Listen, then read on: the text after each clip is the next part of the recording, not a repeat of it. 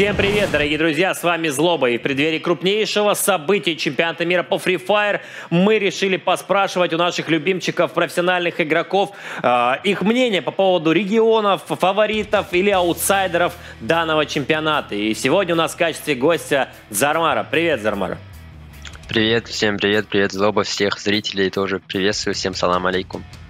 Ну что, Зармара, к сожалению, конечно, СНГ команды не поедут на этот чемпионат мира, но тем не менее такое событие нельзя пропустить. И сразу первый вопрос к тебе – это э, как, по твоему мнению, изменится мета и э, кому на руку в первую очередь, что вы не смогли посетить данный чемпионат?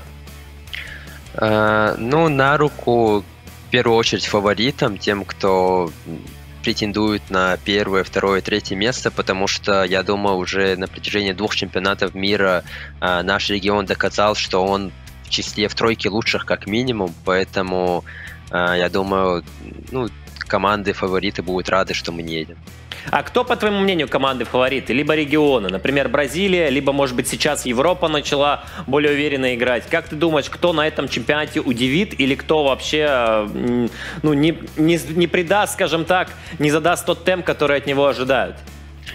Ну, главные фавори фавориты для меня это, конечно же, Бразилия и вот азиатские регионы, в том числе Таиланд, вот те же Феникс и Евас Феникс, э, прошлые чемпионы мира, точнее нынешние чемпионы мира. И, ну, Европа, если честно, тоже может удивить, но у меня, ну, я не ставлю на них никаких ожиданий. Угу.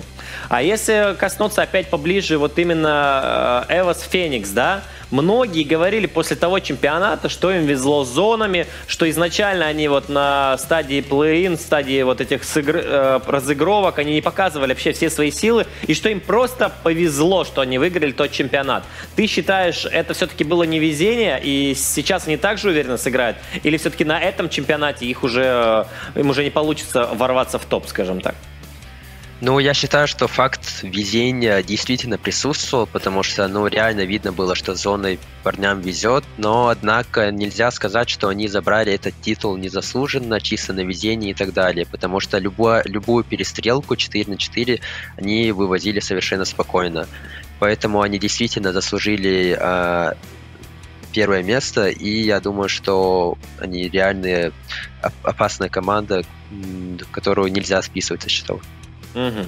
Ну вот ты, как, наверное, самый опытный человек в качестве чем выступления на чемпионатах мира, э, ты поиграл и в плей-ин, и в финальной стадии. И вот как ты считаешь, все-таки насколько сили, э, сильное вообще там психологическое давление на игроков, и насколько э, отличается именно игра тех команд, которые поиграли на плей-ин и вышли в финал, или те команды, которые сразу попали в финал? Кому удобнее, кому легче адаптироваться?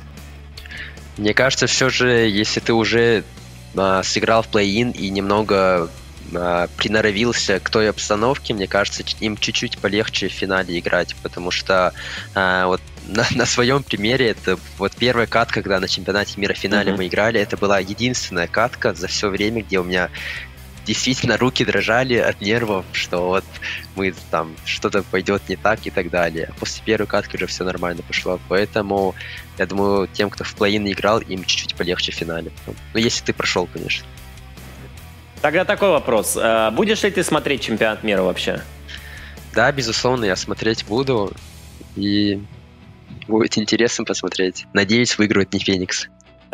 Ну вот, кстати говоря, что, надеюсь, выиграют не Феникс. Я знаю, что вы, э, ваши, ну, вообще игроки вашей команде Mind Games, да, вы активно общаетесь со многими зарубежными профессиональными игроками, и с бразильцами общаетесь, и э, с арабами общаетесь. И вот есть ли у тебя команда, за которой вот действительно тебе будет приятно поболеть, и которую ты бы хотел видеть в качестве чемпиона мира?